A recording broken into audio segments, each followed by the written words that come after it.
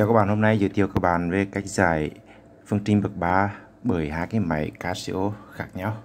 Đây Casio 880 BTG và Casio 700 570 VN Plus. Thì đầu tiên là cái máy à, này.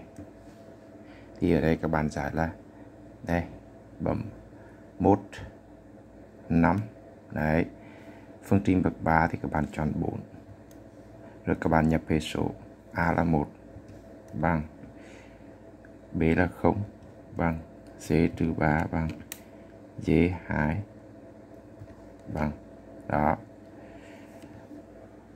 Để nhập rồi thì cho, bạn cho bằng một đồng thời các bạn nhé. Còn cái máy BTG này. Đây các bạn mở máy. Các bạn chọn, đây, đầu tiên các bạn chọn phương trình.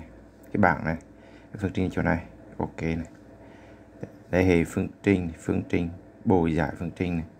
Thì phương trình phương trình bậc 3 các bạn, bấm này. Đó. Bây giờ ta nhập này. A là một một. B là 0 bằng. Trừ, c trừ 3 bằng. D là 2 bằng. Bây giờ nhập nhập xong đó nha. Bây giờ bây giờ bấm hai cái này xem thử hai máy nào mày nó nhảy hơn này.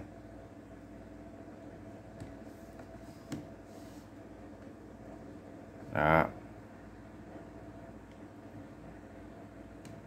Thì cả hai mày đều cho là cùng một lần luôn các bạn, trừ hai. Nghiệm nghiệm mà trừ hai. Đấy. Bây giờ bấm tiếp. Nghiệm một. Bấm tiếp. Đây.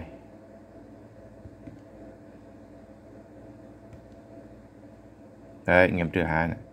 Nghiệm một Đấy, có hai nghiệm như vậy các bạn nhé.